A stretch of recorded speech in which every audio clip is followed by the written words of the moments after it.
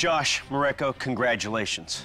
Both of you made signature blades that have propelled you into the third round of competition, giving you a chance at the title of Forged in Fire champion and another shot at that $10,000. Well, now we're gonna send you back to your home forges to recreate an iconic blade from history.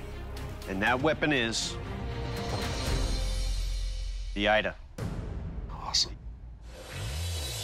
The Ida is a long cutting sword, most commonly used by the Yoruba people of West Africa. Their idolization of Ogun, the god of metal and war, led their blacksmiths to be among the most skilled in West Africa. With its leaf-shaped blade that could be single or double-edged, the Ida was a practical tool for both agriculture and hunting, as well as a deadly weapon on the battlefield. In combat, it was often laced with pepper or poison to paralyze enemies and ensure that the slash of the Ida left many dead in its wake. The length of the blade must be between 22 and 26 inches. Additionally, it must have a double edge. I've never heard of this weapon before. I mean, I've seen weapons that are similar, but um, I'm, I'm, not really a weapons expert, so if I come away with a win, it's not gonna be a cheap win. I might make a great blade and get beat, you know. I did last time. You will have five days at your home forge to complete this challenge. At the end of those five days, you will return and present your finished items to the panel of judges. Good luck, bladesmiths. We'll see you in five days. Good luck, man. Let's do this. Back at my home forge, the challenge is to build an Ida sword. My plan is to make kind of a mosaic steel, which is aesthetically really beautiful. And into the forge, and the great wide yonder. I'm gonna do a full integral blade, which means the blade, the guard, and the full tang in the handle are all gonna be forged out of the same piece of steel biggest concern is that the welds might not take, so I'm just gonna keep my fingers crossed, keep my cool, and just do things the way I normally do, and it should come out just fine. Like I'm forging in fire or something. See what I did there? It's day three. My blade's ground. I'm ready to heat treat. I'm feeling pretty anxious. Two days of work comes down to this. You just never know what's gonna happen when you actually go into that oil. Here goes nothing.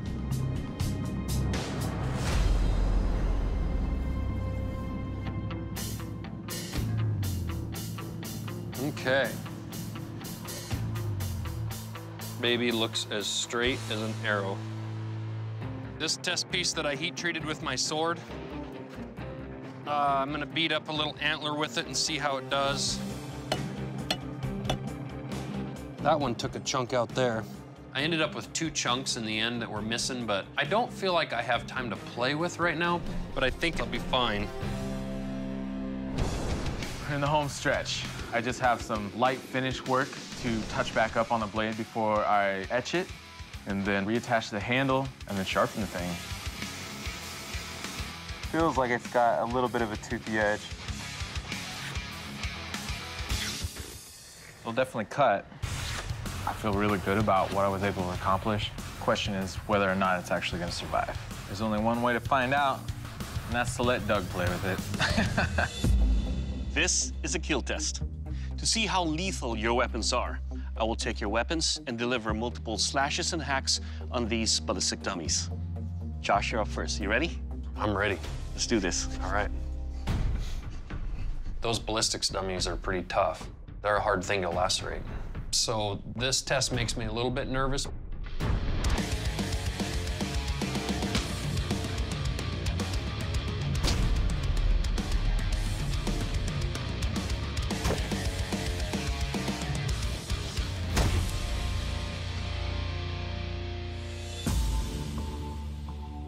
Okay, Josh, this is a wicked blade. On the initial hack right here, the blade went all the way through into the ribs and broke those ribs. The other side, same thing. That would disembowel this dummy. Your weapon will kill. Thank you. Good job. Thank you very much. Mareko, you're next. You ready? I'm ready. Let's do this. All right. I don't know how well my weapon's actually going to perform because it has kind of a beefier edge geometry, which doesn't necessarily lend it to slicing very well.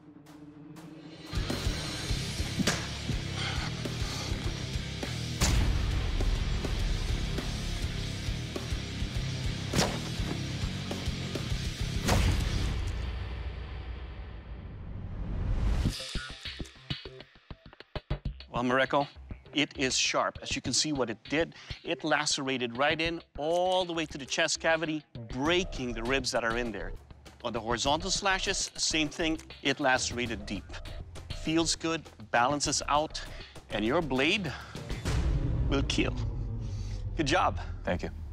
Next up is the sharpness test. To test your double-edged sword, I will take your weapon and deliver three slashes per blade across this web of ropes. If your Ida is sharp, it should meet no resistance. Josh, you're up first. You ready? Let's do it. Let's do this.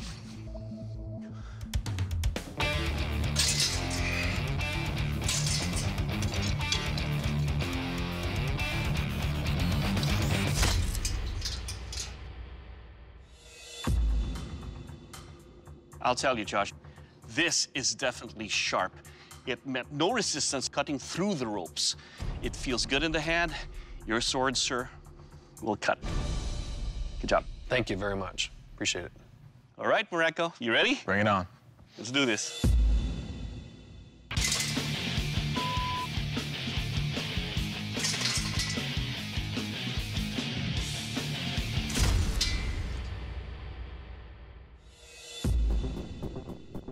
Well, Mareko, your blade is fast. It's light. It did lacerate through some of the ropes, and some of them it didn't. Overall, though, your blade will cut. Thanks, Doug. Next up is a strength test. Dave? Gentlemen, to test the strength and durability of your blades, I'm going to chop into these femur bones three times. Now, the point of this test is not to see how many bones I can break, but to see how well your blades hold up through that punishment. Josh, you're up. You ready? I'm ready. All right.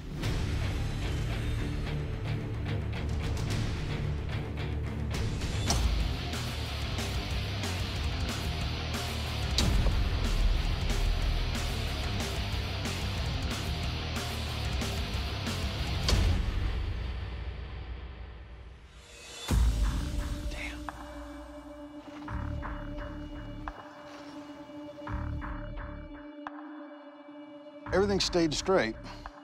Everything stayed tight. But you can see we've got some extreme chipping on that blade.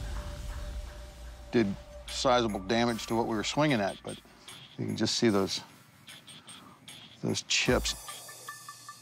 All right, Mareko, you ready? Yeah. All right. I did my best to make the geometry so it could withstand this kind of use, but seeing the damage that happened to Josh's sword makes my heart like sink down to my stomach.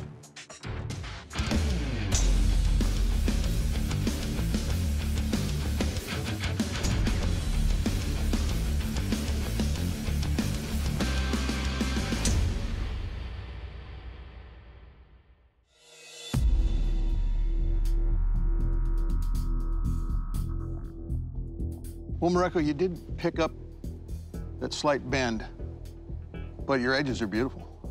They've held up quite nicely. Nicely done. Thanks. Josh, Mareko, it was definitely a battle.